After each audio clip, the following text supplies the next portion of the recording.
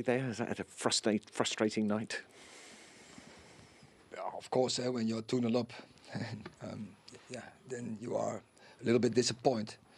Then you, when you draw, that's, that's quite obvious, and yeah, we have to take that. And we had the chances uh, after the 2-1 to score the 3-1, uh, which we didn't, and then we concede a goal.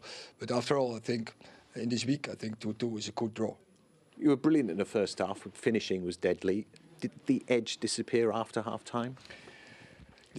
We, had to score the second goal. It came just before halftime, but to be honest, also they got uh, make the equalizer just before halftime, just before we scored, and yeah, we were not that good. Uh, I think over 90 minutes. Also, not in the first half. We didn't play brilliant uh, for me, and we were up 2-0, and then we had to. I think after halftime, we had to score another goal.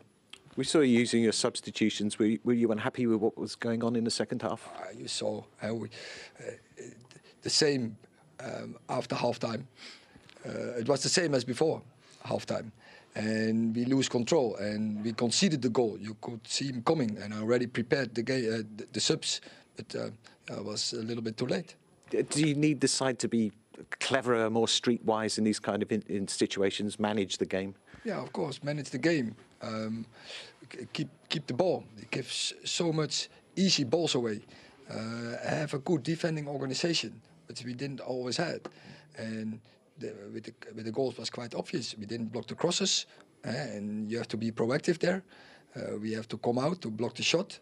Uh, with the second uh, long ball, and we didn't squeeze out. Um, was so easy for them, and then kept coming, and it was so easy to score a goal then. In the bigger picture, Newcastle have won tonight, and it makes that top four battle more complicated. And you've got Villa next as well. yeah, it's another game, and uh, we need energy, and we have to be ready for Sunday. Uh, we know that.